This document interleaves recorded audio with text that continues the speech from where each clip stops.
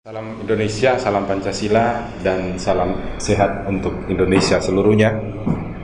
Pada pagi hari ini kita kembali di Rumah Seni, di Rumah Pancasila, dan Klinik Hukum.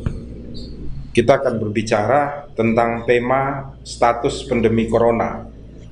Apakah informasi pasien mendesak untuk dibuka ke publik ataukah tidak? Oleh karena itu sudah ada beberapa narasumber yang pertama adalah Pak Sosiawat, selamat datang Pak di Rumah Seni Rumah Pancasila. Terima kasih, selamat datang salam Pancasila. Ya sehat selalu toh Pak Sosiawat. Ya. Beliau adalah seorang wartawan senior juga di Jawa Tengah di Indonesia, sekaligus Ketua Komisi Informasi Provinsi Jawa Tengah. Bersama kita juga sudah ada Profesor Bernard Eltanya, pakar hukum ya. pidana, dan Armindo, Armindo ini adalah pembaca filsafat, penikmat filsafat Indonesia. Saat ini sedang menyelesaikan studi S3-nya di Undip. Berbicara mengenai corona, tadi ada disinggung oleh Pak Bernard, kita tidak boleh apa ya istilahnya tidak boleh untuk mengesampingkannya begitu saja atau cuek begitu saja karena menurut Pak Bernard singa pun itu adalah ciptaan Tuhan tapi sekali-kali kalau Anda bermain dengan singa pun, memeluk dia maka dia akan melahap Anda. Ular kobra pun ciptaan Tuhan. Tapi Anda tidak mungkin akan bisa bermain-main dengan ular kobra, perlu menjaga diri. Maka di dalam situasi yang sangat-sangat rumit saat ini, di Italia saja kita lihat dalam satu hari kemarin ada 6.000 orang yang tertular dan ada 627 orang yang meninggal dunia dalam satu hari simbol-simbol agama seperti hilang dari kita semua karena banyak larangan bagi kita untuk masuk di rumah-rumah ibadah. Karena ditakutkan akan saling menular satu dengan yang lain. Di Indonesia sendiri saat ini informasi begitu tertutup yang seharusnya dibuka kepada publik sehingga kita mampu untuk berjaga satu dengan yang lainnya. Pak Susiawan. Banyak sekali informasi-informasi yang tidak sampai yang menjadi pertanyaan besar, saya akan kepada Pak Susiawan sebagai Ketua Komisi Informasi Provinsi Jawa Tengah.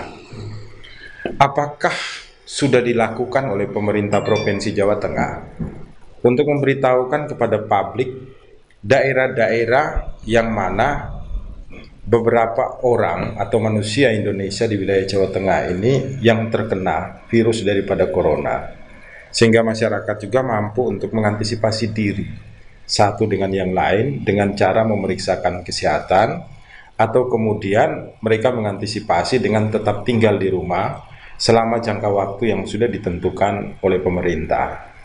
Sejauh mana informasi dari pihak pemerintah di Provinsi Jawa Tengah ini sudah benar-benar transparan terhadap masyarakat? Silakan. Ya, terima kasih Mas Yusuf. Sebelum menjawab, mungkin yang ingin saya sampaikan pertama adalah kita sekarang ini dalam situasi anomali informasi menurut pendapat saya pribadi di mana setiap orang sekarang ini sulit mengidentifikasi informasi mana yang dianggapnya paling benar atau paling diikuti yeah. untuk diterapkan di dalam kehidupan. Jadi dalam situasi yang sifatnya sangat anomali seperti sekarang ini, memang inilah peluang-peluang informasi yang menyesatkan hoax atau hoax ini betul-betul sulit untuk dikendalikan. Oleh karena itu, pertama kita memahami kalau pemerintah itu sesungguhnya juga sedang dalam situasi yang dalam tanda kutip gagap ya. Bukan saja karena ini pertama kali terjadi di negeri kita tercinta ya. ini. Ya, situasi seperti ini kan baru pertama kali. Ya. Ya. Yang kedua karena memang selama ini pengelolaan informasi oleh negara itu tidak menyangkut seluruh aspek kehidupan.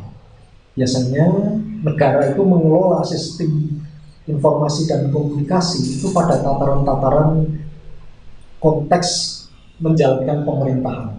Sehingga aspek-aspek yang menyangkut katakanlah personal pribadi termasuk kondisi kesehatan kita, ya. itu negara kan tidak bisa masuk atau tidak perlu masuk kalau itu tidak muncul atau tidak disampaikan, ya.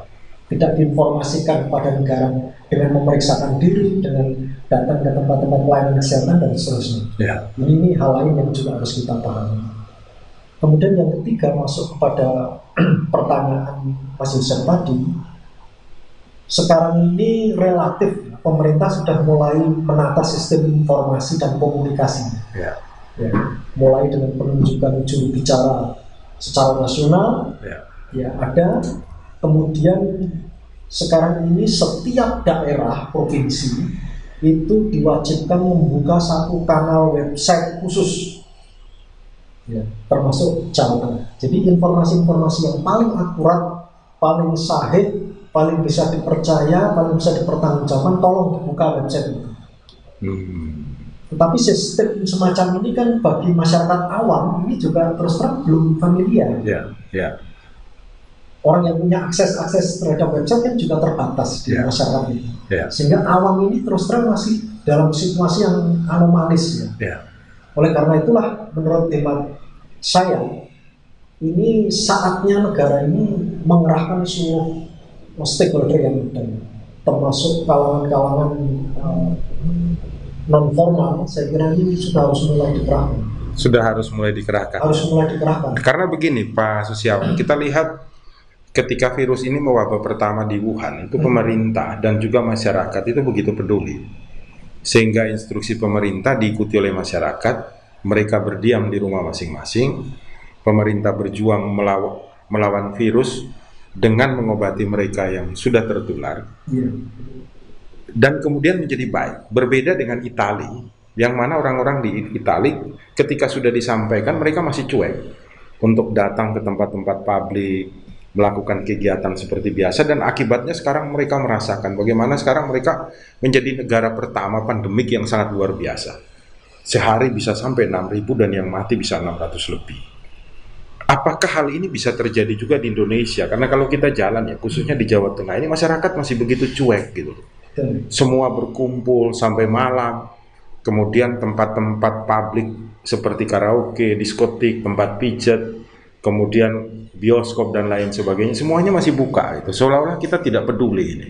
Langkah apa yang perlu kita ambil bersama-sama, Pak ah, Pak Sosiawan? Anda sebagai seorang ketua komisi informasi di Provinsi Jawa Tengah yang paling tidak juga dapat memberikan masukan kepada masyarakat sekaligus kepada pemerintah untuk bersama-sama menjaga kehidupan kita bersama di Jawa Tengah ini sehingga sehat. Seperti apa? Iya, betul. Mas Yusuf, sebelum saya menjawab pertanyaan itu, kita dalam situasi sekarang ini, kondisi sekarang ini, kita dalam kekacauan sistem informasi dan komunikasi seperti tadi saya katakan situasi yang sangat anomalis bagi kita. Justru dalam situasi ini kita ini sekarang baru sadar betapa informasi dan komunikasi ini tidak bisa kita bermain-main dengan. Ya. Kalau selama ini kita masih mentolerir atau beberapa pihak mentolerir hoax atas dasar wajah asasi manusia, kebebasan berpendapat, ya. kebebasan ekspresi. Sekarang inilah saatnya kita semua merenung bahwa ternyata informasi yang tidak akurat, cara berkomunikasi yang tidak tepat, itu bisa mengakibatkan keburukan yang luar biasa untuk seluruh bangsa, bahkan ini secara global. Ya, itu yang pertama. Yang kedua, yang ingin juga saya sampaikan kepada kita semua, bahwa inilah saatnya kita menghargai informasi-informasi dan sumber-sumber informasi yang akurat. Jangan bermain-main lagi dengan informasi dan komunikasi ini pembelajaran yang luar biasa sebenarnya untuk bangsa ini. Untuk bangsa ya, termasuk rakyatnya ya, juga ya. Termasuk mengevaluasi hmm. apakah sesungguhnya rasa solidaritas kita, rasa kebangsaan kita, rasa keguriban kita, empati empati dan uh, solidaritas nasional kita itu dengan kata lain nilai-nilai Pancasila itu apakah betul-betul sudah kita berikan atau kita implementasikan atau kita aplikasikan di dalam kehidupan kita itu sekarang ini sesungguhnya kita bisa mengevaluasi semuanya. Semuanya itu ya. Ya kalau tadi disinggung di Wuhan, mohon maaf yeah. ya. Ketika ter, pertama kali terjadi wabah ini, apa yang terjadi dengan media dan masyarakat di sana? Mereka saling berteriak lewat rumah masing-masing, lewat apartemen masing-masing untuk saling menyemangati. Yeah. Kita bisa, kita bisa. Itu pada saat terjadi, kita masih tertawa-tawa di sini media-media di sana yang ditampilkan apa? Bagaimana semangat untuk kebersamaan, bagaimana semangat solidaritas untuk saling menguatkan satu sama lain. Media menampilkan bagaimana perjuangan orang-orang di tingkat uh, kesehatan, orang-orang di tingkat rumah tangga merawat keluarganya meskipun dengan memakai pelindung diri itu yang ditampilkan oleh media sisi kemanusiaannya, humanismenya, semangat kebersamaannya melawan corona ini. Itu yang ditampilkan media di sana. Sementara media kita di sini orang yang baru diketahui identitasnya dibully habis-habisan. Hmm. Di Depok yeah. baru diketahui ada tiga suspek pasien 01, 02, 03. Masyarakat tidak berempati, tidak bersimpati, tidak menampakkan solidaritas Wah ini dibully habis-habisan. Wah itulah akibatnya kalau pergaulan internasional tidak dibatasi. Wah inilah akibatnya kalau kita tidak hati-hati berkomunikasi dengan orang asing. Wah ini Anda menjadi sumber masalah bagi bangsa ini, sumber malapetaka. Ini media-media bahkan media mainstream pun sampai tadi malam itu masih ada perdebatan-perdebatan menyalahkan kebijakan pemerintah, menyalahkan satu sama lain, ketidaksiapan ini melemahkan kita semua sebenarnya. Ini yang harus dirubah. Inilah sikap kita, inilah uh, cara kita ya untuk menghadapi situasi yang uh, mengancam kebersamaan kita ini dengan justru saling menyalahkan dan mencari sumber masalah. Seolah-olah kita ingin mencari siapa yang menyebabkan masalah bukan bagaimana kita bersama-sama menyelesaikan masalah, masalah ini. Untuk menyelesaikan masalah. Ya. ya inilah problem-problem saya kira juga problem kebangsaan kita sampai ya. sekarang ini. Kalau kita punya Pancasila, sesungguhnya saat ini diuji sejauh mana ini seluruh elemen ini membuktikan, termasuk media. Saya orang media sangat prihatin sebenarnya dengan narasi-narasi media kita yang masih bicara soal hari per hari menit ke menit hanya jumlah korban, jumlah korban, jumlah korban kurang dinaikkan bagaimana orang bisa iya. sembuh ya. perjuangannya, perjuangan, ceritanya. Bagaimana kita harus menyemangati satu sama lain. Sama lain. Bagaimana kita harus mendisiplinkan publik yang sering kali masih acuh tak acuh. Ah ini yang perlu saya garis bawahi dan yang yang ya. menjadi problem kebangsaan kita. Ya. Karena itu Komisi Informasi memang kami dalam tataran yang tidak sampai menjangkau pada level terendah uh, personal-personal ya atau pribadi-pribadi. Ini tentu uh, jangkauan kami kepada lembaga-lembaga publik ya, para pengambil kebijakan publik. Inilah yang kita dorong. Oleh karena itu ketika pemerintah sudah mulai menarasikan hal-hal yang sifatnya positif ajakan ke mana-mana siapa menjadi agent-agent untuk me menularkan virus-virus positif ya. Thinking positif di dalam memandang ini sebagai problem kita bersama ini saya menyambut baik dan kita terus mendorong. Oleh karena itu, Komisi Informasi Provinsi Jawa Tengah sesungguhnya pertama menyikapi ini perlu kami sampaikan ya untuk ya. Mas Yusuf dan kita semua. Ya. Komisi Informasi mulai dari pusat sampai ke provinsi-provinsi, kabupaten kota ini belum menentukan sikap apakah membuka informasi tentang data-data pasien itu keharusan atau justru ini kesalahan. Karena apa? Karena dalam Undang-Undang Keterbukaan Informasi Publik, ya, ya Undang-Undang Nomor 14 Tahun 2008 itu memang ada informasi-informasi yang harus ditutupi atau dikecualikan, termasuk ya informasi-informasi yang menyangkut data-data rekam medik, kondisi kesehatan, riwayat kesehatan seseorang baik fisik maupun psikis itu menjadi uh, informasi yang harus dikecualikan, tidak harus dibuka. Yang tidak harus dibuka kepada ya. publik ya. Oke, itu, sehingga harus dijaga betul. Iya, tetapi saya secara pribadi itu kan kalau kita dalam kondisi yang normal. Normal. Ini dalam kondisi abnormal. Sekarang ini kan kita sedang dalam kondisi yang tidak normal. Ya.